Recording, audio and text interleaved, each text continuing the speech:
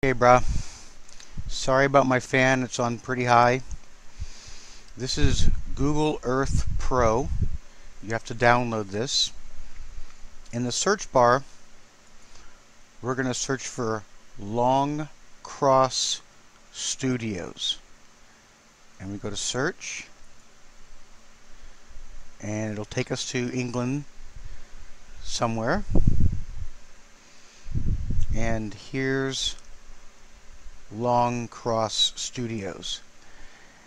And I'm putting my timeline on 32417 so you can go to any any year you want. You can go all the way back to 2010. But I'm putting it here because this is the one that works.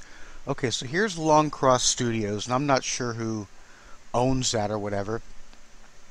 But if you go over here to this thing right here, right off this road, right by this little whatever shape that is, and you scroll in,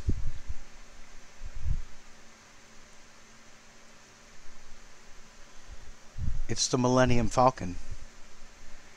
That's the Millennium Falcon, dude. Right there. They're trying to hide it, and I guess this is a, a tarp, but you can see it. And if you go to the next earliest,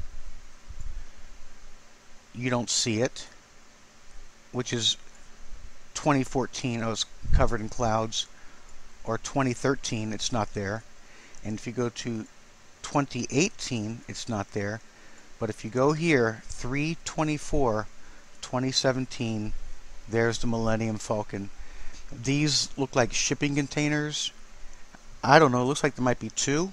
One, and then a line. Two. One, two. Might be too high. But there it is. Find Longcross Studios. Make sure you're on north. So this is due north.